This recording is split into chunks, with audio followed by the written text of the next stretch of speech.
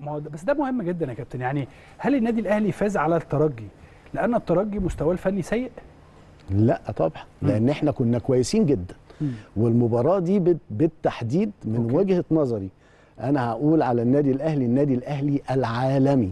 لأن أنا قبل الماتش كنت في أي لقاء في التلفزيون في أي قناة كنت بقول أتمنى إن أشوف فرقة النادي الأهلي بتلعب الكورة الحديثة زي أوروبا. صحيح. بمعنى إيه؟ وإحنا معناش كورة بنرتد للدفاع. كله. ساعة ما بنقطع هي دي بقى اللي كانت ناقصة ودي آه، يعني آه، اللي كانت ناقصة وكان نفسي أشوفها. عملناها الماتش اللي فات بشكل هايل. ويمكن الجون الثالث اللي شفناه حاجة الجون الثالث يدرس.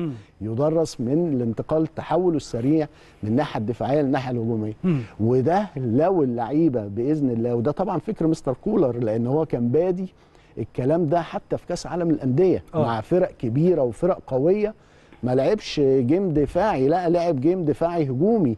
ولكن مع ريال مدريد لعبنا كده مع فلامينجو لعبنا كده هل ولكن تقصد إن هو بيحط شكل للفرقة؟ بان في الكلام بان امبارح بان في ماتش الترجي بشكل كبير جدا. أنا أتمنى نستمر على هذا okay. المنوال. حلو جدا الكلام ده. هن- هنتكلم فيه أكتر ولكن كلامنا فيما يخص أنا دايما كلامي بيروح لل... للناحية من يحاول أن يقلل من فوز النادي الأهلي فأول حاجة هيقولها إيه آه الترجي ناقص 3 4 والترجي فنيا في الملعب لا مش عارفين يقفوا آه ما عندهمش مهاجم آه والله هو حضرتك ما سمعتش الكلام ده لا؟ سمعت بس آه. يعني بضحك يعني آه. باخد بسمعه من هنا. واطلعه آه طبعا طبعا فنيا النادي الأهلي قوي إحنا أوكي. الحمد لله بسم الله ما شاء الله فرقتنا قوية ولاعبتنا قوية عندنا مدير فني رائع عندنا مدير كورة رائع عندنا مدرب عام سامي قمصان رائع. أيوه. لعيبة آه، في تنافسية بينهم أدت إن مستوى كل لعيب أيوة. فيهم بقى هايل أيوة.